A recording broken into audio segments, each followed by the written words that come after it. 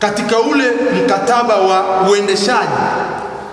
Na mbia mwenza ambaye ni STAMIC itatusaidia sisi wafanyakazi wa Tanzanite One kulipwa mishahara yetu, lakini kubwa zaidi itatusaidia ajira zetu, kama jinsi kauli mbiu ya Mheshimiwa Mzalendo hapa kazi tu, itatusaidia sisi kurudi kazini, ambapo ambapo ni ukweli usiopingika, mishahara tunadai kweli, tumeteseka, familia zime, zimeteseka, lakini ni ukweli pia tunahitaji kazi. Lakini jambo jingine ambalo ni zuri pia kwa pande zote, yaani serikali kupitia mbia STAMICO na tmr pamoja na mwekezaji wa kimkakati, miundombinu kuchelewa kwa ili kwa kuanza kazi kupelekea miundombinu ya kampuni kuzidi kuharibika. Kwa hiyo kazi zitakapoanza mapema, ni kwamba tutapambana na kusaidiana ili kuboresha na kurudisha ile miundombinu katika ubora uliokuwepo kabla hatujasimama kazi. Tanzanite One oye! Lakini jambo jingine, mimi niwaombe wafanyakazi wenzangu wa Tanzanite One tusipende kuokoteza okoteza maneno.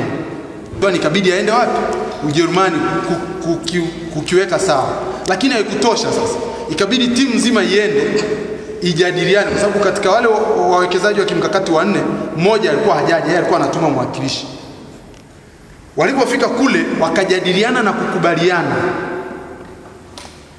wakaandika barua ya pamoja kwenda serikalini kwamba kile kipengele wakaelezea na mpaka siwezi kuvisema kwa sababu viko chini, lakini mimi na, na katibu tuliona mpaka amount ya uwekezaji ambao wao wameahidi serikali mpaka malipo ya madeni ambayo wao wamekubali kufanyaje kulipa, kwa sababu huyu mwekezaji wa kimkakati anakuja kumwezesha TML kimtaji, yani kiuchumi na kiutaalamu. Kwa hiyo baada ya kuwa wamekubaliana, wakaituma tarehe nane, ile barua imeandikwa tarehe nane mwezi wa kumi na moja kwenda kwa kamati, yani Ikulu.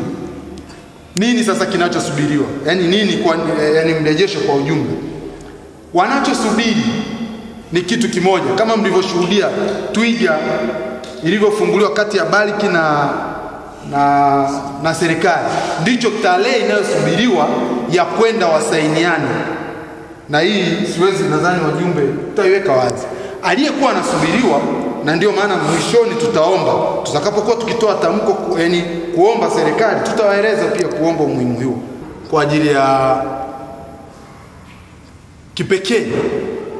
Nimshukuru sana Rais wa Jamhuri ya Muungano wa Tanzania ambaye ni mzalendo namba moja wa nchi hii, Dr. John Joseph Pombe Magufuli kwa sababu haya yote anayoyafanya au haya yote aliyosimamia na kuyaagiza yapitiwe, yaani kupitiwa upya kwa hii mikataba ambayo wote tunatambua ilitokana na kazi nzuri ya kizalendo iliyofanywa na kamati ya Tanzanite iliyoundwa na bunge chini ya Mheshimiwa Doto Biteko. Kama isingekuwa moyo wa kizalendo huyu Mheshimiwa John Joseph Pombe Magufuli angeliweza hata kuambia business as usual, nenda Uswizi niwekee kule, na bado Tanzanite isingeweza kunufaisha nchi yetu. Kwa kwa hili tunamshukuru na tunamsupport. Naitwa Marin Daniel Peter, ni mfanyakazi wa Tanzanite One na ni mwanachama wa Tamigi apartment ya Salt House. Wafanyakazi hoye! Magufuli hoye! na One hoye! Jamani, mimi naomba kwanza, wafanyakazi wenzangu, umoja ndio kitu cha msingi sana. Tunapokuwa na umoja, tunaweza tukasikilizwa.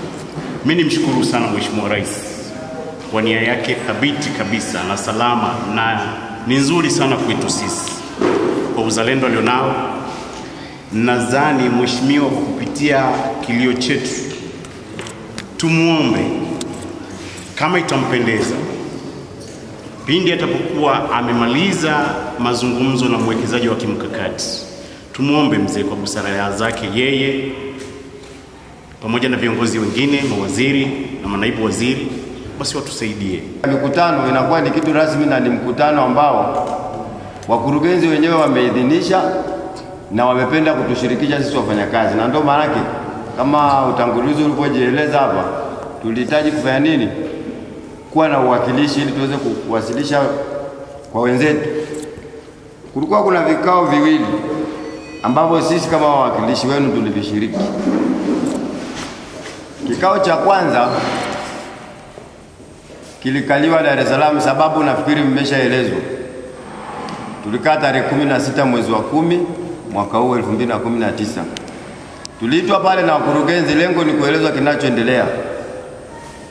Mmoja kati ya wakurugenzi, Mheshimiwa Hussein Gonga, alikwenda Ujerumani. Alikaa Ujerumani kwa zaidi ya mwezi mzima, na tuelewe tu kwamba huyu strategic investor jukumu la kumtafuta ni jukumu la wakurugenzi. Wao ndio wana jukumu la kumtafuta na kumleta mezani kwa mazungumzo na serikali. Kwa maana hiyo, Mheshimiwa Hussein alikwenda nje kwa ajili ya kumshughulikia huyo mwekezaji.